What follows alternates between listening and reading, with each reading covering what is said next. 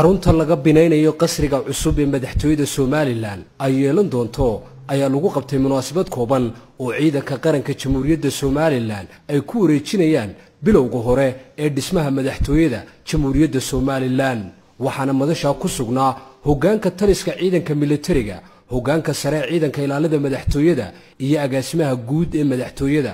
Sareeyagaas nuux ismaaciil taani taliyaha ciidanka qaranka jamhuuriyadda somalilan ayaa ka warramay maraaxilka ay soo martay bilowga hore ee dhismaha madaxtooyada taas oo ay hirgeliyeen ciidanka qaranka. Waxaanu agaasima noo sharafaa inaan dhismahan annagu xoog saaray dhib kasta ha ahaatee kuna faananno dhismaha qaranka oo ay mustaqbalka inaan qayb ka qaadannay.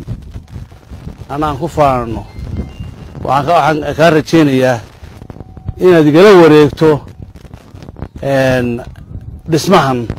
Agaasimaha guud ee madaxtooyada somalilan maxamed cali bile ayaa ciidamada militariga somalilan uga mahad celiyey sida xilkasnimada leh ee ay u hirgeliyeen dhismaha hore ee madaxtooyada jamhuuriyadda somalilan taasoo wax weyn ka qaadanaysa dhismaha shaqo ee qaranka jamhuuriyadda somalilan.